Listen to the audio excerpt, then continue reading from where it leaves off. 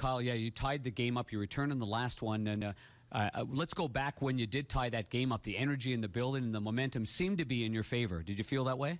Uh, yeah, I felt, uh, you know, we came out with a pretty good level of desperation that we knew we needed, and uh, we are fortunate to tie it, and uh, you know, I felt like we took some momentum, but um, you know, just found a way. We gave it back to them, and uh, just couldn't uh, couldn't find a way to close the game out.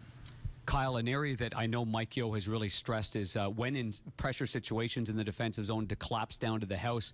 Was that one of those moments where do you give credit to Florida for their puck possession and their smelling blood, or is it something that as a as a squad on the five-man unit could have done better? Yeah, I think yeah, I th you know it's it's tough now. I haven't had a chance to go back and look at it, but it just felt like. Uh, uh, yeah, we were giving them probably a little too much too much space. Uh, you know, would have liked to won the draw and get the puck out a little faster than that. But uh, yeah, they, they threw a couple pucks at the net, and uh, you know, we just uh, we, we, we couldn't find a, find a way to get a handle on it and uh, get it out of the zone. Kyle, not a, maybe a lot of fans here see the Florida Panthers now that they're healthy. They they look like a handful out there.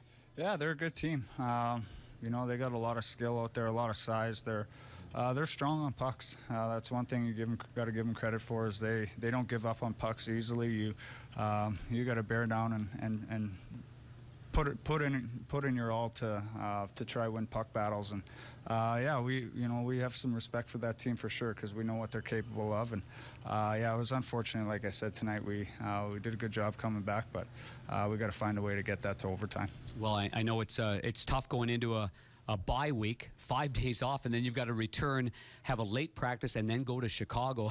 Probably not what you thought at the beginning when you heard of a, of a bye week. Yeah, you know, I think guys knew uh, what to expect. We, we came into today, uh, you know, wanting to put in, a, a, you know, all our effort to, to have something good to feel about for the next couple days, and uh, unfortunately, we're not going to be able to do that. But uh, I think it, you know everybody's got to make sure that uh, when we come back at, at the end of the week, that uh, we turn our brains back on and get ready because it's going to be a, a tough push the rest of the way.